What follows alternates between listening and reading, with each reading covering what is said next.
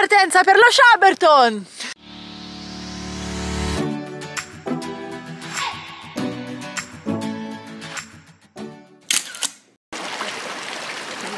Sì, a lei piace, l'adoro.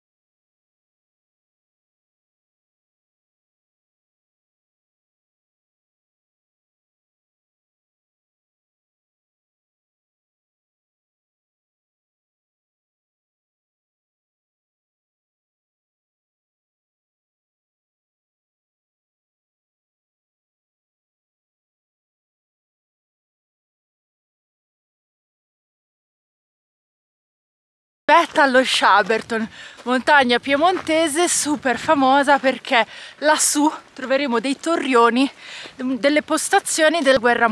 Sono belle, sono imponenti, tutta questa zona bellissima, avevano una vista ampia, poi oggi ce l'abbiamo anche noi perché fortunatamente la, è tutto terzo, quindi riusciamo a vedere veramente tanta bellezza e L'escursione non è difficile dal punto di vista tecnico, è solo abbastanza lunga.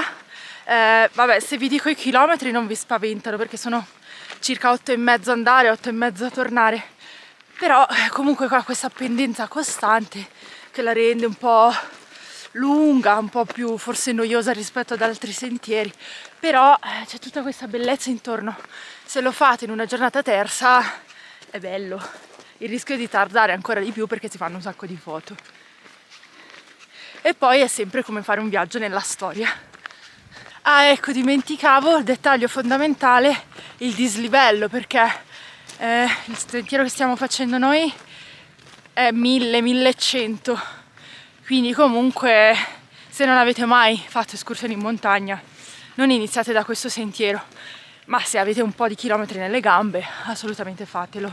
Noi siamo partiti da Clavier, ci sono tantissimi punti di partenza, siamo al confine con la Francia, divertitevi con le mappe.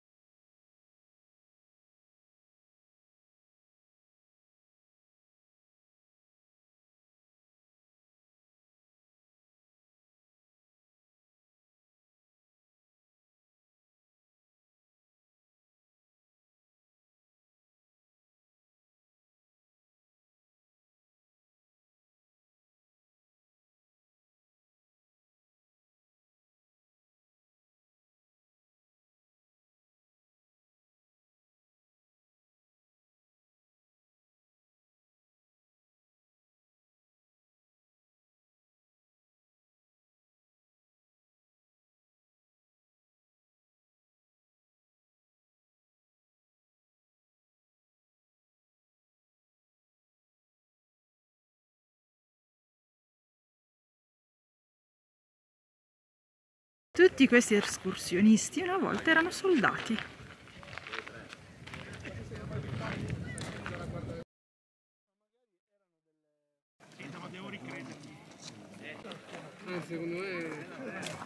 Amori, sei stata bravissima, 3000 metri Poppy, 3000! Quella, piace più quella perché questa ce la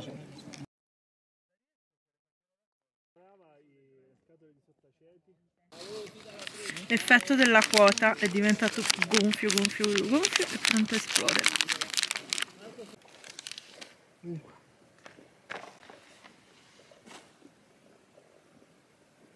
Qua.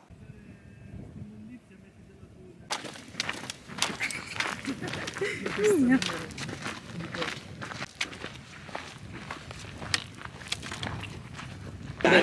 Perna ghiacciata. Mamma mia. Ma perché comunque...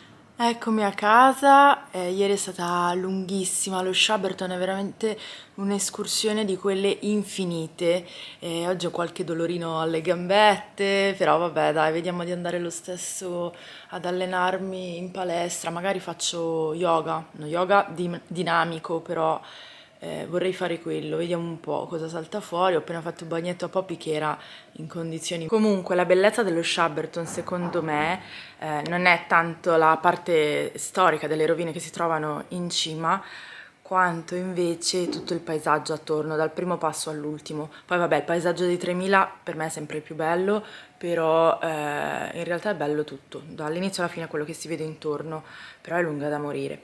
La chicca in più è stata il vederci volare sopra la testa il grifone. Ah, io so che è una cosa abbastanza rara di questi tempi, un po' più frequente, però qui sono appena tornati eh, quindi è sempre bello vederli a casa loro volteggiare felici. Tra l'altro abbiamo visto anche molto in basso, eh, oltre che sopra la nostra testa, e vedi l'apertura alare. Poi era un bel esemplare gigante, avrà avuto un, un metro di apertura alare e vederlo così ah, per me è stato bellissimo, molto molto emozionante.